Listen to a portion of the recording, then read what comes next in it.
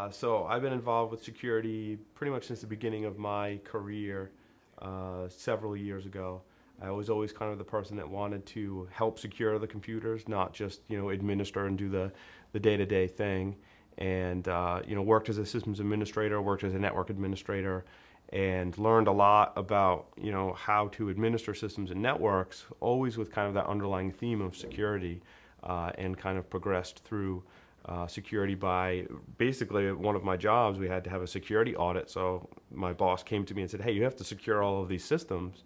Uh, so I started learning about all these security tools, and I, I really, really latched onto it, uh, and have been doing security ever since. I worked for a university uh, for about seven years doing security, and when I when I started at the university, there was uh, very little in the way of security, right? It was 2000 or 2001 where a lot of these security tools and tactics and techniques were still being developed. And, you know, they had nothing in the way of a formalized security program and all of the components that you would include inside of it. So uh, I did the intrusion detection systems, network intrusion detection systems, implemented firewalls, implemented uh, VPN devices, and all of this security technology formalized a vulnerability assessment program. So I would actually go out into the university and assess systems to uh, ascertain the vulnerabilities that they contain and then make recommendations on how to fix them. And I really, really liked that. I mean, that was a lot of fun. It was almost like, you know, someone's paying me to break into these systems and then tell them how I did it. And that, to me, that's a lot of fun because you have to be creative. You have to learn a lot about the latest hacking techniques in order to uh, tell your management in your organization, hey, look, here's how someone could break into our systems or our network, uh, and here's what we can do to help prevent that. Uh, so then from there, I went to work for an organization where I was doing that full time for colleges and universities, uh, and then decided to break off on my own and do penetration testing uh, for a living. So uh, I did that for a while, and now actually my full time job, I work for Tenable Network Security, where uh, I get to use their products, test out their products, still with the underlying, you know, penetration testing, vulnerability assessment, and some of the, um, uh, you know, network uh, defensive layers in there too. Uh, in their products encompass all of that. So it's my job to use their products and then uh, tell people about them. Uh, so my title ends up being product evangelist. So there's no religious connotation with the title, although people like to joke about it. There was one incident in particular that um, was kind of the uh, a moment for me in my career where I felt like I made a difference, and that really has kind of helped keep me going throughout without question. And I was doing an investigation where someone was breaking into several computers uh, within the university, and they were doing it in a very specific way, and the pattern matched. And I was collecting a lot of good information about how they were breaking into the computers and then where they were storing some of their files. So they would break into a computer, then they'd connect to another computer out on the internet, they would download some files, they would run those files to collect passwords from the system or whatever. Well, I, I had captured the uh, username and password that they used to log into one of their servers on the internet.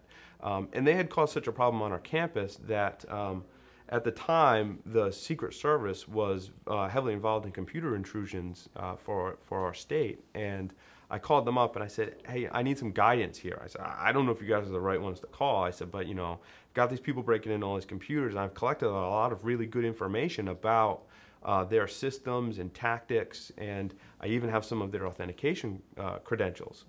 So I hung up the phone with my contact in Rhode Island, and my phone rang literally like three minutes later and it was a secret service agent from milan italy who wanted to speak with me about the computer intrusions and was actually tracking the case so uh, i provided all of my evidence to the secret service and answered their questions and the um, a lot of my evidence was used to essentially break the case which led to seven people being arrested uh, and convicted in italy we started the podcast in uh, in 2004. Um, I used to give regular presentations at the university I worked for and educate people about the latest attacks and defenses because that was something that I needed to know for my job and it was research I was doing anyway. So um, I like people, I like to talk to people, so I would tell people about it in a monthly meeting.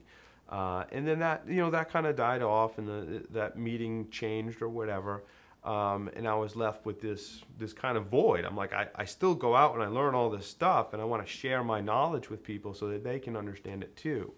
Um, and one of my coworkers at the time was uh, I had just got a Mac actually, and I'd gotten into this whole podcasting thing, and um, he said, you know, you should look into doing a podcast, and I'm like, what is a podcast? I had no idea what he was talking about. Um, it turns out you just you know you record stuff into an audio file and then you put it on the web, and that's pretty much uh, a podcast. And um, you know, like uh, I was saying earlier, that uh, I, I really think that um, when you do something that it's 90% effort and 10% being in the right place at the right time. And we were in the right place at the right time. iTunes had just become really popular, got ported over to Windows. The iPod was gaining popularity, and this is all the things you needed to easily listen to podcasts. So we went to um, Los Angeles for a security conference and decided to record our first episode uh, in uh, at that security conference. And we were actually in a restaurant uh, and if you listen to our first episode, you can hear the clanging of glasses, uh, and the restaurant would move around in a in a circle, and, and that's where we recorded the first episode. And basically, it was a bunch of guys.